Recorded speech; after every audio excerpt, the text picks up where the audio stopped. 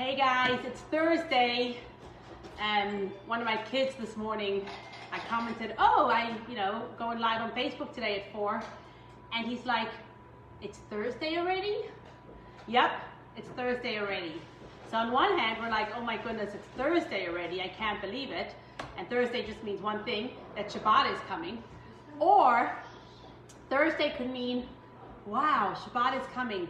Especially at times like this, where our days are just rolling into each other, one after the other, after the other.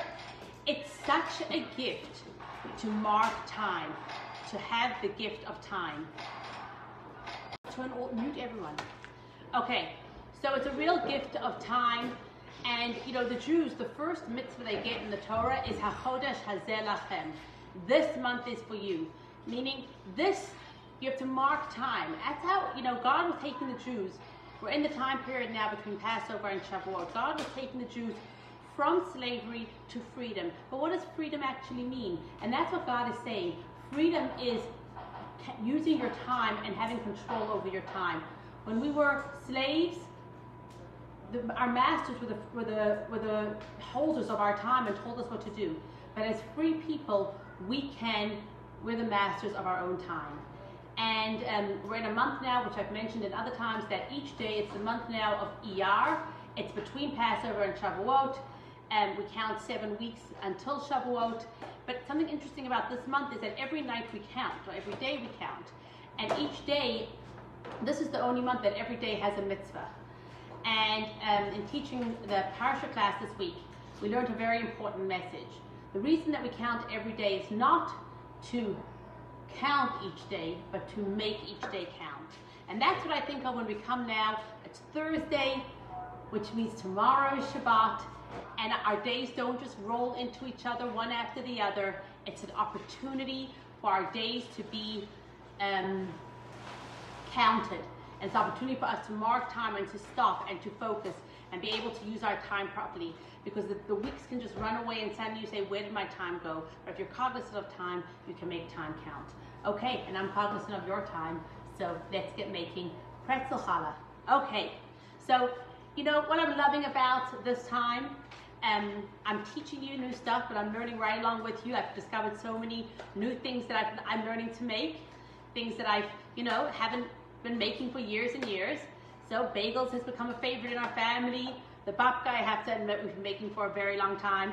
Challah is an old, um, you know, an old favorite. And pretzel challah is new. It's a new favorite around here, and I bet it'll be a new favorite for you guys as well. So, um, you really could use any challah recipe for your pretzel challah.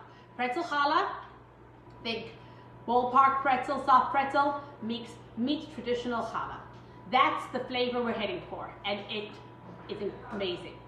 The only thing you, um, you really could use any challah dough for this recipe. It's the method more that I'm going to show you. I did send you all the recipe um, that I'm going to follow today. But in all honesty, if you prefer a different flavored challah, um, you can go with that as well, and you'll follow the same steps to end up getting pretzel challah. So for today, got my bowl, and we're going to start with the recipe. It's two teaspoons, no, two tablespoons of yeast. I did measure it out but you can go ahead and get two tablespoons of yeast and pour that right into your bowl. So even though I always tell you in all my challah recipes, you can just dump everything in the bowl and mix it all up because I have so much faith in the Red Star yeast, today I'm just gonna follow this pretzel challah recipe that I sent all of you. So we have over here two tablespoons of yeast. We're going to add in a quarter cup of sugar. Put into your yeast a quarter cup of sugar. And into that, just half a cup of water. So I measured out over here, it's a little more than that, so I'm just gonna put in half a cup of water, warm water. So this is, just so you remember, in order to proof your yeast, always put in water that is temperature of the, of the sink in the kitchen. So run your sink in your kitchen, and stick your, the, the, um, your wrist underneath the water, and when it feels like warm bath water, that's the kind of temperature you're going for. You're going to pour it right into your bowl. So the idea is to let you, this to start to proof a little bit. Then you mix it up. Give it a quick little mix. So in here we have two tablespoons of yeast, quarter cup of sugar, and a half a cup of water. And this yeast is already doing you know, it's already bubbling a drop. I'm not sure if you can see. It's starting to bubble a little bit and it's starting to have some action right over there. So that's the, you know, what we're looking for in our yeast. And as soon as we have just a little reaction, a couple bubbles, we're gonna go right on to our next step. So our next step is, it says six cups of flour, a quarter cup of oil, one and a half teaspoons um, of salt, and another two cups of flour, of water. Here's something else I found out in this recipe. So I always tell you, add the flour slowly. It stands true for any bread you're making. Your altitude, your temperature, the weather, and always sometimes you need half a cup more, half a cup less. You ended up, you didn't realize you used a smaller egg in a certain recipe, so you have a drop less liquid. You poured a little extra water in, you have a little more liquid. Always add the flour slowly. In making this dough, I find that it's pretty exact. It actually needs, in, in my kitchen, it needs always a drop more flour to get the right consistency. But let's go. So I'm gonna add in to start um, my six cups of flour.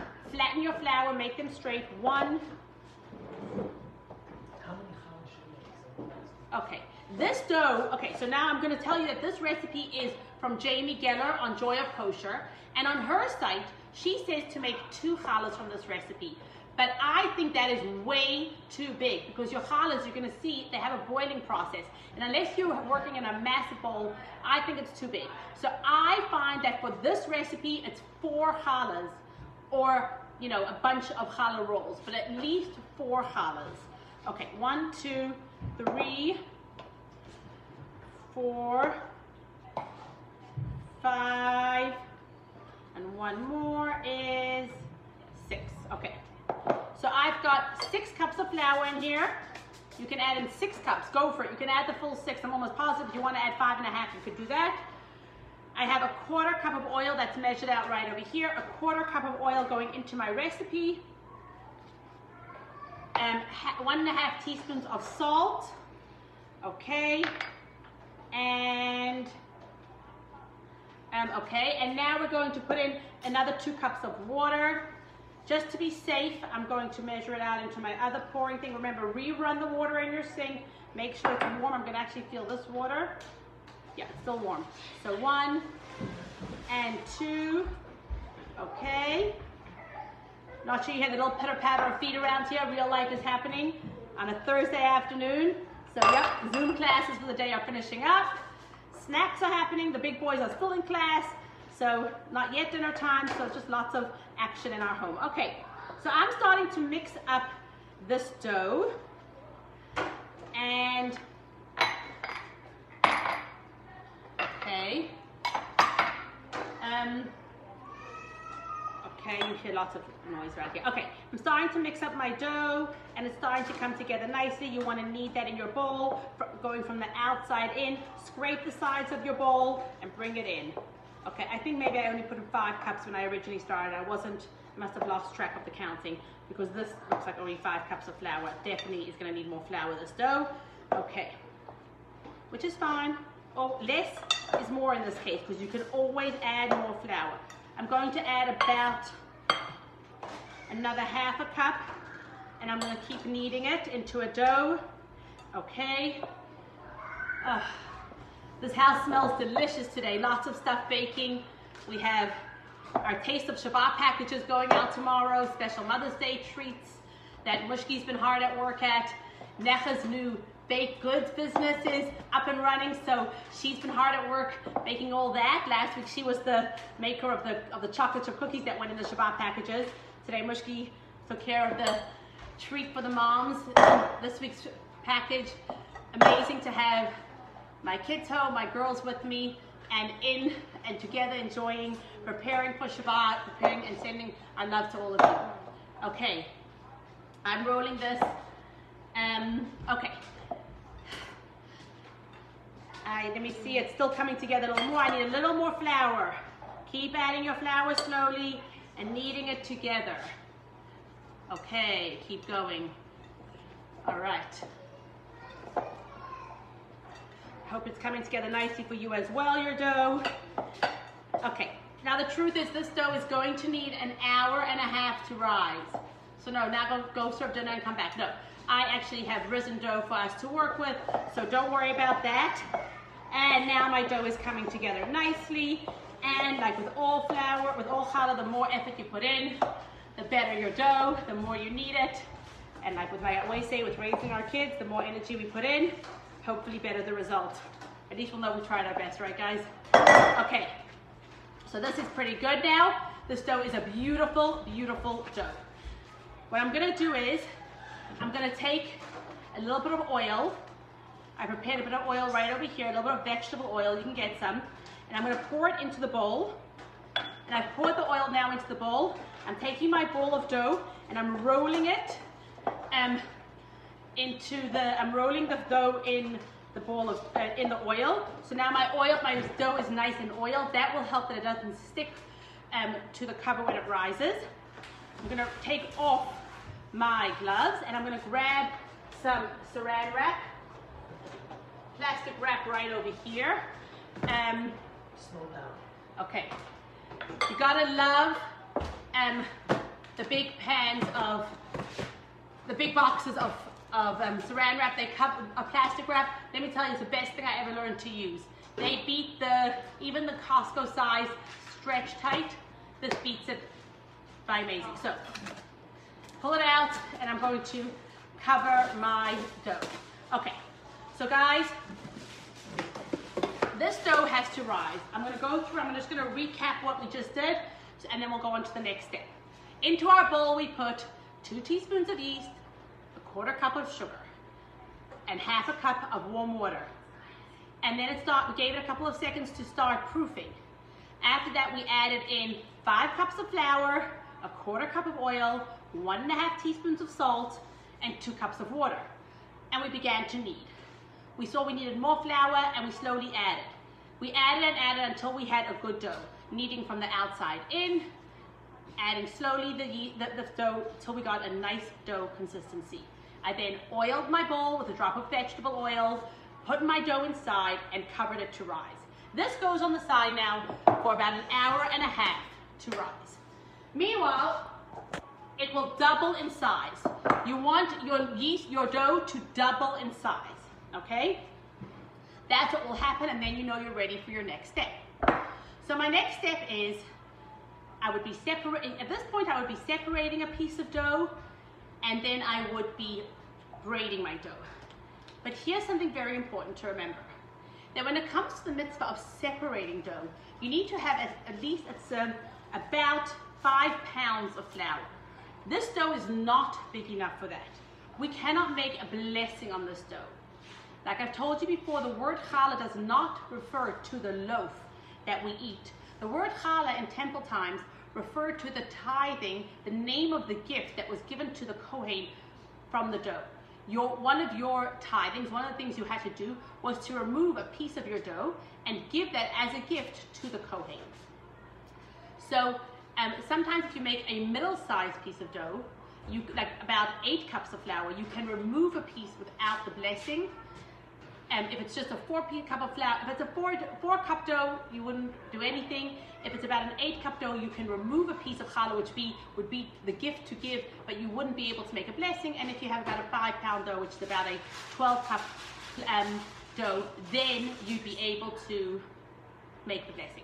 So for today, I'm just going to punch it down, punch down my dough, and and like I always tell you, it's always good to have a little bit of a drop stick. You can add a bit of flour as you go. Punch down my dough, and I can remove a piece of dough, but I cannot. It was enough dough to remove a piece of dough, but it's not enough dough to make a blessing. Now, what happens when you remove a piece of dough? What are we doing in tithing from our dough? What we're doing is make a blessing. A blessing is it's a pipeline. And it's a, a, way that when we recognize God and recognize something higher, we're saying, God, bring this blessing into my home, into my life, into the bless the food that I'm making, that it should have the results of warmth and happiness and homeliness, homeliness in it. So what, what am I doing when I separate the piece of dough? I'm thinking about someone else. I'm saying, God, just as I want you to give me gifts, I'm going to give this to the Kohen. We've spoken about this, that these days there is no um, Kohen who is there's no temple uh, with a Kohen working in the temple, and so even though this is a um, piece of dough that has been um, um, consecrated for something holy, um, I, I so I burn it in, as a symbolic, symbolically. I'm going to put this aside to take care of it. Like I mentioned to you, your dough is going to be able to make four challahs, okay? You're going to divide your dough first in half and then in half again. Okay. And I need a knife over here and I'm getting one. Okay. In half and then in half again. Okay. Your extra dough you're going to put on the side. Don't worry about your extra dough right now. For right now we're going to take our dough and braid it. Now the truth is you can really braid it into any shape that you're comfortable braiding it in. It's, you know, some people are just good at a three braid like they're doing their kids' hair. Some people want to do a four braid, a six braid. For today's purposes, I'm actually just going to do a three braid, so I want to show you the method most important. Okay, I'm going to make a three braid challah. So I'm just got my three, got three balls of dough right here, and I'm rolling it out. This part you're probably gonna have to do with yourselves after your dough rises a little bit later, but it's if you just follow, watch me now, you'll know exactly what to do. So I'm rolling out the dough, one, two, and three. Okay, you can remember I told you you can make any braid that you're comfortable braiding. The purpose of this challah this week is more the flavor than anything else. Okay, here comes an interesting piece. After the first rising, you don't need another second major rising. You need to rise just for about 20 minutes. Okay, but the good news is, is that, what's called doubles in size, is that I already braided one 20 minutes ago. So this is ready to go. Okay, what happens now is, I'm gonna need someone to bring the camera over. Okay, so Mushki's gonna help me here just to make sure we have a good view. I'm gonna take this, keep it straight. I'm gonna take this um, challah and it's gonna go into our pot. So the pot behind me has, okay, this is the thing about the sauce pot. If you have a low saucepan with a lid, that's your best pot to use. I don't necessarily have the right like low saucepan, so I'm using like a deep frying pan that I had, um, or you could use a wok. Um, I just don't want to use like a deep stock pot because you're gonna have to you're, you're gonna have to maneuver your challah in the pot and turn it over. It basically has the same step as the bagels that we made. So it goes into the pot and then it flips around. I forgot to tell you something really important. Just like with the bagels, I put my challah down to rise on a piece of parchment paper. Put the challah down to rise on a piece of parchment paper so you don't have to transfer it into the water. I'm having a little bit of connection trouble here, so just make sure that it's working, okay. Anyhow, hopefully you guys are still seeing me. Um, one second, let me just fix the, the connection. Give me one minute, guys. One second. Okay, hopefully this works. You didn't switch it. It didn't switch. Okay, we'll see. Anyhow, here is our challah and it's risen on our piece of parchment paper. Behind me I have eight cups of water and three quarters of a cup of baking soda. What this is going to do is it's going to stop the rising process essentially of our challah.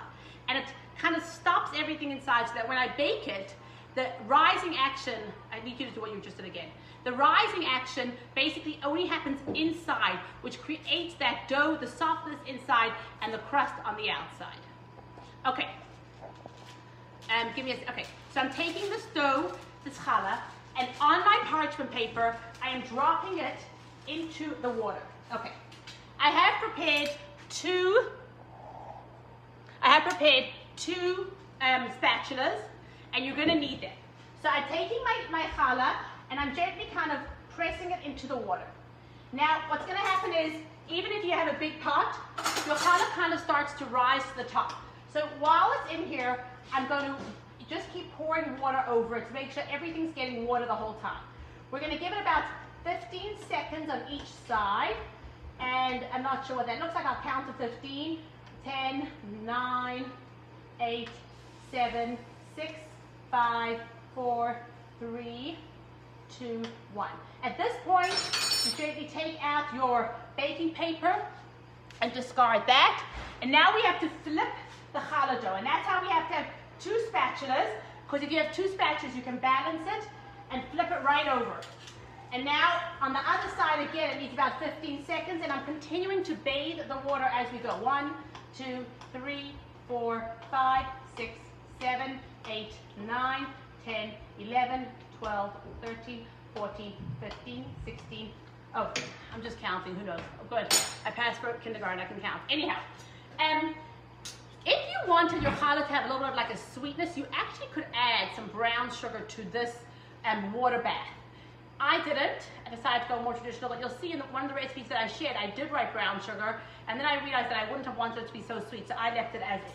Right now, again, I take my two spatulas. You must have a prepared baking sheet and for your challah to go onto, a greased prepared baking sheet. I realize that, okay, so make sure you oil your baking pan in advance so your challah is coming right out onto that. Okay, so I'm putting my two spatulas underneath. Wish me luck. This is actually the hard part, guys. This is the only hard part, and I'm flipping it over. Beautiful. Okay, this is my challah, and it is looking very, very beautiful. Okay, so far this is how it looks. Now I'm gonna take um, my brush that I just used oil, and I'm gonna brush the challah with water from the pot. So it gets a not an egg not an egg wash, but a water wash. Okay, it's getting a nice water wash all over. Okay, shut that. And then we're gonna sprinkle it with some kosher salt. Some people might like some sesame seeds, but I'm gonna keep it pretty traditional. I have seen um, pretzel, pretzel like, you know, commercially with za'atar in it. So I imagine anything, um, you could do different flavors, but for today we're gonna go with a traditional salt. I'm sure you could order, you know, pretzel salt if you wanted specifically that, but kosher salt should be good. And you wanna give it a good helping of pretzel salt. Can we get some um, little people who want to taste some pretzel challah? Great. Okay.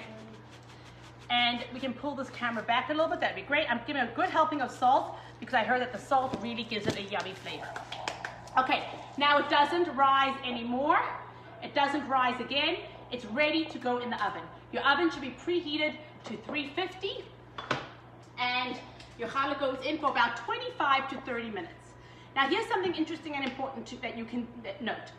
When you braid your challah, we said it needs about 20 minutes to rise.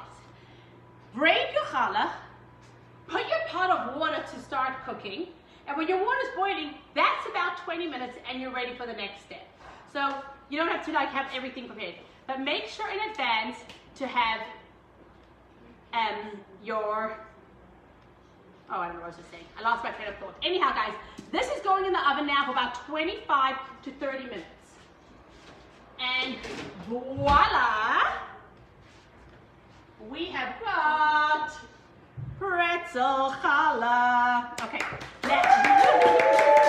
you see the peanut gallery is here, guys. Anyhow, here is pretzel challah. I'm gonna show it to you and I'm gonna tell you why I've got mustard on my pretzel challah tray.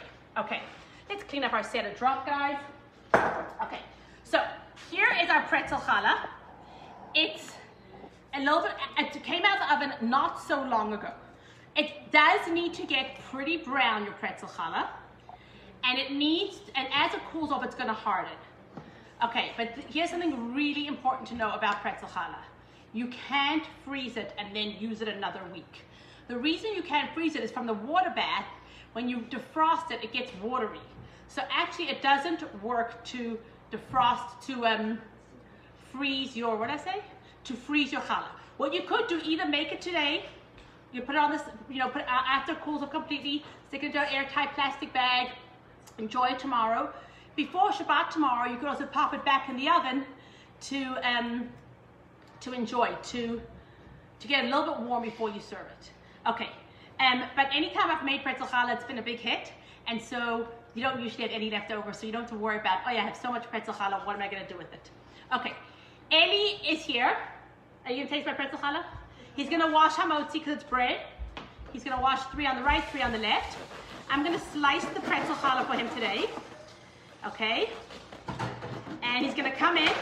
He's gonna, so the outside, inside is nice and soft, the outside is crunchy. And Eli, um, before you take hamotzi, make, take a bite of it. Make a bracha. Come inside the camera. Everyone wants to see you. Here's Eli. Okay, he's to make a bracha on this challah. Okay. It's good? You can tell everyone it's good. Okay, which, oh, you want honey mustard? Okay, he wants some honey mustard. Okay, I don't have that. Okay, So I'm gonna get Annie with some honey mustard, even though a lot of people would prefer maybe a more traditional mustard, but just a regular yellow mustard. But here's Eddie's getting some pretzel challah with honey mustard. Eddie, stay in here and tell us how it tastes.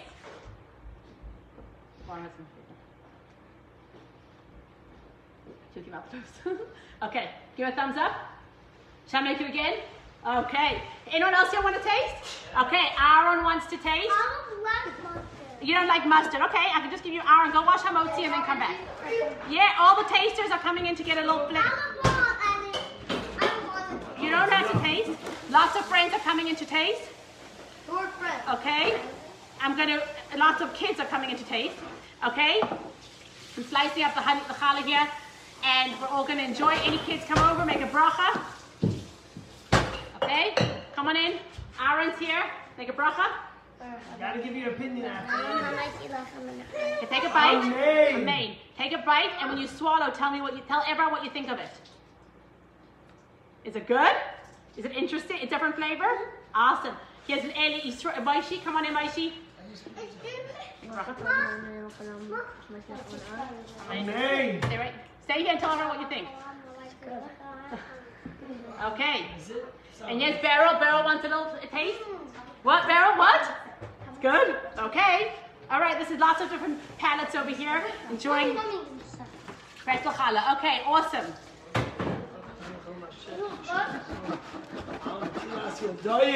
Okay. Here's the main taste tester. Uh, Baruch uh, atah Adonai, I'm the main one.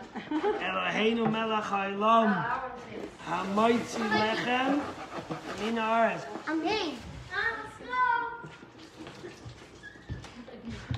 Okay, here we go. All right, at least we have someone who's practicing that, isn't we? Just wait until he swallows before he talks. Wow, that's delicious.